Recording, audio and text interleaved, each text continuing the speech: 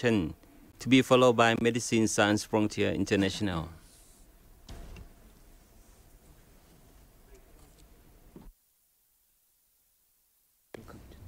Thank you, dear Chair.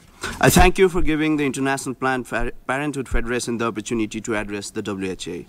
We welcome the draft Global Health Sector strategies on HIV, viral hepatitis, and sexually transmitted infections, and support the emphasis of all three of these strategies on equity, financing, information, impact, and innovation.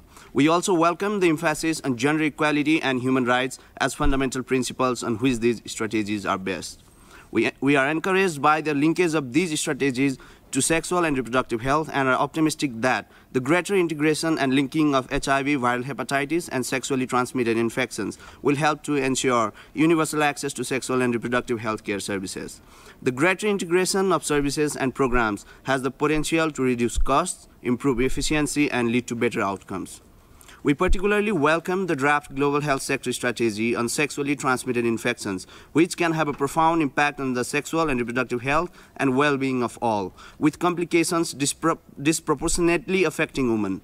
A renewed global focus on key infections such as syphilis, gonorrhea, and human papillomavirus has a tremendous potential to mitigate the often hidden impact on stillbirth, cervical cancer, HIV transmission, and infertility, infertility worldwide.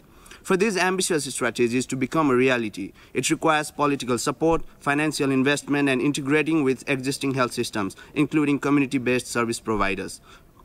We call, on the, we call on the member states gathered here to show the leadership that is required in all, floor, all fora, including at the high-level meeting on ending AIDS in New York in June. In particular, we call for full funding for the Global Fund through the replenishment event in Canada in September. IPPF fully supports the adoption of these draft global health sector strategies by the 69th World Health Assembly. Thank you, dear Chair. Thank you, IPPF. Now